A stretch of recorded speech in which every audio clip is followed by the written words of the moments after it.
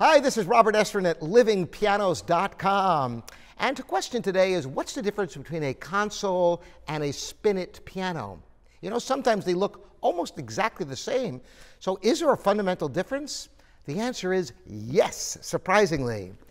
You might think that a shorter console is virtually the same as a spinet, because spinets are very short pianos, typically about 36 uh, inches tall and they're uprights that go against the wall, and so are consoles. The fundamental difference is the type of actions. Spinets have what's called an indirect blow action or a drop action because it's such a small piano that the only way to really fit the action is to have a very short key with a connecting rod that connects to the rest of the action.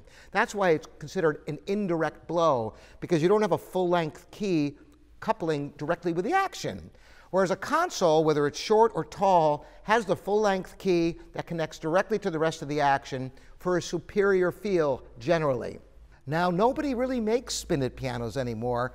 I guess they, they lost favorability with less expensive consoles that have better actions overall.